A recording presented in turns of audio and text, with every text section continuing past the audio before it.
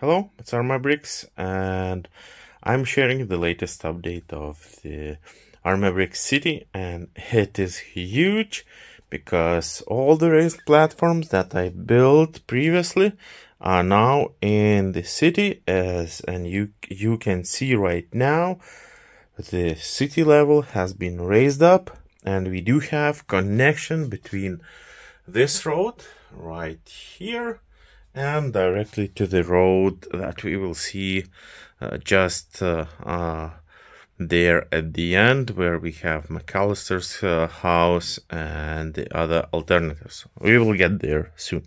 So what we have here is that we manage to place quite a lot of buildings on the race platforms and we do have one open spot right here. Unfortunately it is still dark but I'm planning to add a lightning to it so we could see how it is actually going on here. As you can see you can see the end of the road and it's pretty amazing. So when uh, uh, lights will be added I think it will be looking really great.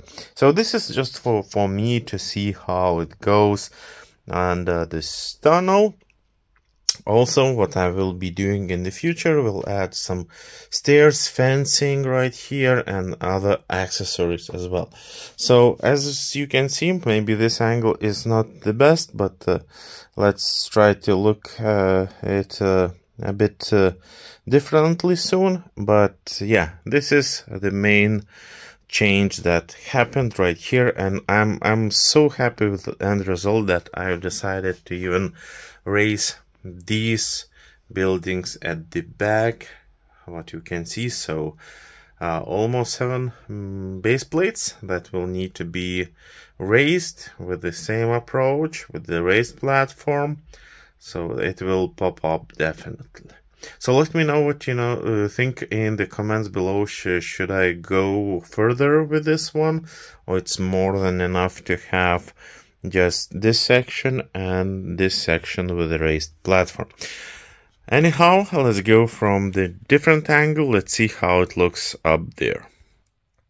So as we can see this crowded uh, street where we have diagonal uh, alley buildings and other alternative builds will be connected to the one that we've been in. So on the race platform, we do have all those buildings.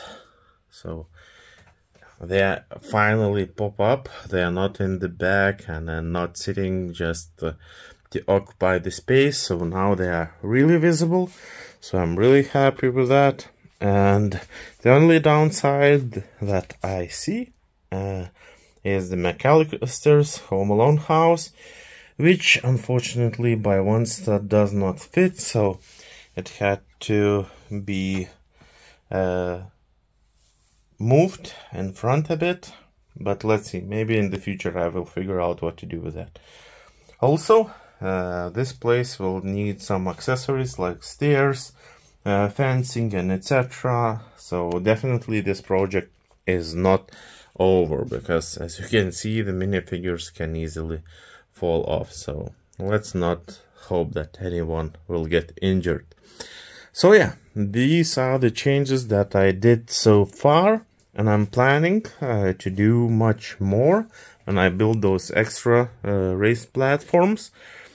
So what I need to do is I've already have pre-built extra floors for for Grand Emporium, for Brick Bank, for for Corner Garage. So I will be uh, putting those together with those new raised platforms. But uh, yeah, this will take some time. So hoping that in upcoming week or so I will be able to do that. But yeah, at least I'm happy that there is enough work in the city that I'm doing and the city uh, evolves. Not uh, not everything is stopped although we are limited in space. So yeah there are still few base plates to occupy So yeah, fingers crossed that we will have enough work for upcoming at least half a year. So thank you for watching. Stay tuned. More changes will be coming up next. And let me know in comments what do you think about raising these buildings at the back and doing the same for the buildings that we see there at the back of that wall where we have old modular buildings. So thank you for watching and uh, have a great day guys. Goodbye.